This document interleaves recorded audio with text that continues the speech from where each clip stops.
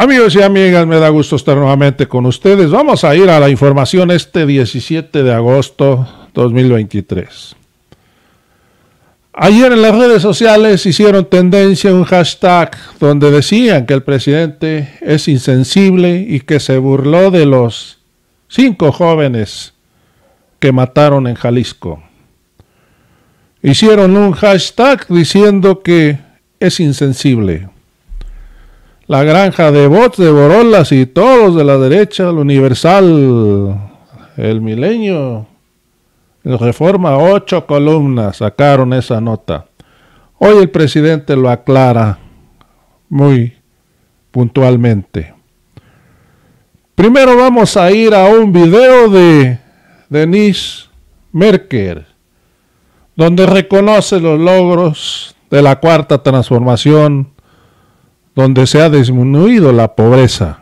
Amigos y amigas, esto le duele a la derecha que hoy los chayoteros estén reconociendo los logros del presidente López Obrador. Ya hemos pasado un video donde hoy el presidente dice que ya se puede ir tranquilo. Es más, se puede morir tranquilo. Y lo reconoce la derecha. Lo reconoce Leo Zuckerman, así como Denis Merkel. Amigos y amigas, vamos a ir primero al video de la señora Merkel. Podemos decir que no se había conseguido esto nunca. Desde los programas ni focalizados, eh, progreso, nunca se había conseguido. Entonces, verdaderamente salir a criticar estos resultados porque no están focalizados los programas sociales, hombre, nunca se había conseguido esto. Creo que es una de las mejores noticias que hemos tenido. Eh, y esto, por supuesto, tiene lecturas eh, los política, pero si la quitamos, se redujo la pobreza. La pobreza extrema prácticamente se queda igual. Efectivamente, mm. tiene una nadita de, aumento, pero se queda básicamente igual. Punto 1%. Punto 1%. Y la, la pobreza eh, disminuye me parece que evidentemente tiene que ver con cosas que no solamente tienen su importancia en los hechos económicos, sino también en el discurso. Se aumentaron los salarios mínimos que durante años escuchamos que no se podían aumentar porque la economía no le iba a resistir. Se aumentaron los salarios, no pasó nada, se redujo la pobreza, sí pasó algo. Entonces, sí es muy importante porque yo, yo recuerdo cuántos especialistas me decían, es imposible, además nadie gana el salario mínimo. No, no, no, Bueno, entonces, los salarios mínimos se aumentaron, los programas sociales se aumentaron y además tenemos el tema de las remesas. Todo esto es una cosa que ha producido una disminución de la pobreza, me parece fundamental, una disminución de la desigualdad, que también me parece importante. Y esto me parece un extraordinario logro. Vamos a ir a la información donde Jesús Ramírez Cuevas tuvo que salir a desmentir el hashtag que hizo la derecha todo el día. Porque los periódicos lo sacaron a ocho columnas. Amigos y amigas, Borolas y sus granjas de bots lo hicieron tendencia. ¿Qué es lo que dijo Jesús Ramírez Cuevas? Es mentira que el presidente López Obrador se negó a contestar una pregunta sobre los jóvenes desaparecidos en Lago de Moreno, Jalisco. La sensibilidad y la solidaridad siempre han identificado al mandatario. No somos iguales. Esa versión forma parte de una estrategia de desinformación. Amigos y amigas, yo me pregunto si el pueblo de México le cree a estos señores de la ultraderecha, de la derecha de México, que a diario se la pasan desinformando al pueblo de México, calumniando, difamando al presidente López Obrador, ofendiéndolo e inclusive mentándole la madre. Nunca se había hecho eso, como lo ha dicho el presidente, dice que gobernaba Madero. Hoy se quejan de persecuciones políticas porque este gobierno los ha metido a la cárcel. Hoy más que nunca este gobierno, el presidente López Obrador, les ha dado el derecho de expresarse libremente. Inclusive hasta la ofenden. Vamos a ir a lo que le contesta Javier Lozano, otro sicario de la desinformación que se robó los millones de dólares de el chino mexicano. Amigos, vamos a escuchar qué le responde. ¿Qué dice Javier Lozano? Además de inútiles, incompetentes, insensibles e indolentes, son una punta de hipócritas. Claro que escuchó el presidente la pregunta y además era tema obligado. Y salió con un chiste y una carcajada. Tienes toda la razón. Imbécil, no somos iguales. Son ustedes unos putos miserables.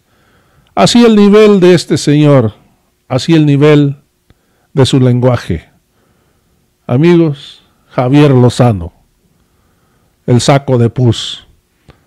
Vamos a ir a la conferencia que responde el presidente. Que dio pie a una eh, burda manipulación. Ya eh, no saben qué hacer estos corruptos y sus voceros. Ayer, como a ustedes les consta, eh, al final de la conferencia, ya cuando habíamos terminado, empezaron a gritar y no escuché nada, nada. Tan es así que por eso eh, conté ese chiste y eh, sin ningún fundamento, de manera perversa, eh, sostuvieron todo el día de ayer en la presa vendida y alquilada de que yo me había burlado cuando me preguntaron sobre los jóvenes que asesinaron, desaparecieron en los altos de Jalisco. Toda una mentira, una infamia. Ellos son capaces de todo, yo no, no somos iguales. Yo tengo principios, tengo ideales. Soy un hombre de sentimientos. No me puedo burlar del dolor, de la desgracia de los demás. Nunca lo he hecho. Por eso quería iniciar esta conferencia. El presidente hoy en la mañanera para aclarar que no escuchó los cuestionamientos sobre la desaparición de los jóvenes de Lagos Moreno, el presidente reproduce lo que dijo que escuché nada, por eso me acordé de este chiste. Era puro grito en la mañanera al final. Hay que recordar que ya cuando se va o se va a ir el presidente de la conferencia, todos los reporteros quieren que el, el, presidente les conteste. Todos gritan al mismo tiempo. Y si no, vamos a escucharlo.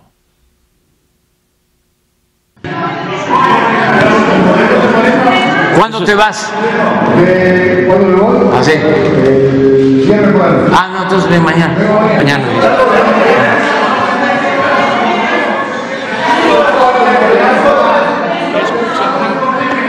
¿Qué escuché? Ayer me, me decía un amigo, este, decía que, decía su esposa, eh, que me des 200 pesos para ir al mercado. Eh, no oigo por acá, por el otro, que me des 500 pesos para ir al mercado. Mejor los 200. ¿Ustedes creen? Bueno, adiós. ¿Ustedes creen que este que si yo escucho que me están preguntando sobre eso. Este, no contesto. Pero qué cosa, qué escuché. Nada, nada. Por eso, mm, este, me acordé de ese chiste, que era puro grito, no escucho. Y entonces lo interpretan como que no quise yo responder, pero que además me burlé. Son unos perversos, malos de Malolandia, pero no pasarán, no pasarán. Qué bueno que tenemos este medio, estas mañaneras, para poder aclarar, porque si no, imagínense, con toda la lanzada en televisión, en radio, en los periódicos, ocho columnas en reforma. Además, hoy en la conferencia el presidente dijo que especialistas de la seguridad pública apoyan las autoridades de Jalisco en las investigaciones por el asesinato de los cinco jóvenes en Lagos Moreno.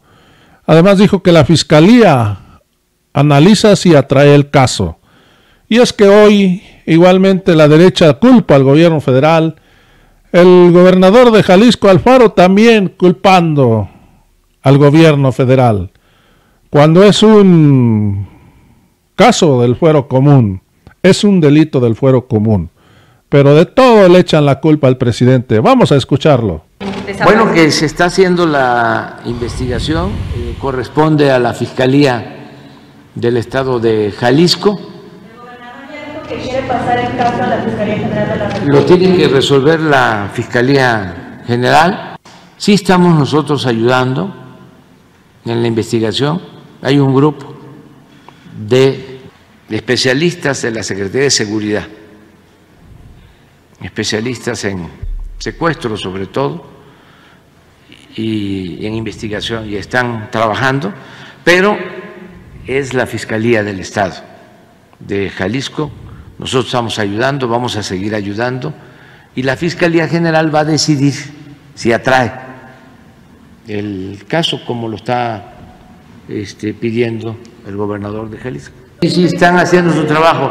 Es muy eh, lamentable, muy triste esto que está sucediendo. Hay varias hipótesis, pero hay que esperar, no eh, adelantarnos. Vamos a que se avance más en la investigación y sí hay algunos avances en la investigación, pero Vamos a esperar. Lo mismo en el caso de Poza Rica se está haciendo la investigación de los cuerpos que se encontraron, están en la Fiscalía de Veracruz atendiendo este asunto. Sí, pero hace falta todavía que eh, se hagan todos los análisis para identificarlos bien, no adelantándolos. En esta declaración el presidente deja muy en claro que el delito de los cinco jóvenes que ocurrió en Jalisco es del fuero común, por lo cual le corresponde a la Fiscalía del Estado de Jalisco. Pero hoy Enrique Alfaro culpando al gobierno federal como siempre lavándose las manos. Entonces, ¿para qué es gobernador si todo culpa al gobierno del presidente, al gobierno federal?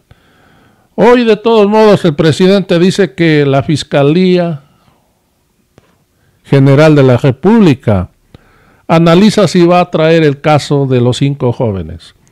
Amigos, con esto me despido. Ya sabes, si te gustó, suscríbete a este canal, dale manita arriba, activa la campanita. Y lo más importante, comparte este video porque esto ayuda mucho para que miles y miles de mexicanos y mexicanas estén enterados de lo que está pasando con la cuarta transformación de la vida pública. Hoy el gobierno del presidente López Obrador ha conseguido en su mayoría sus objetivos que se impuso al principio de su gobierno. ¿Y cuál era? Disminuir la pobreza. Hoy lo ha logrado. Amigos y amigas, con esto me despido y nos vemos en el próximo video.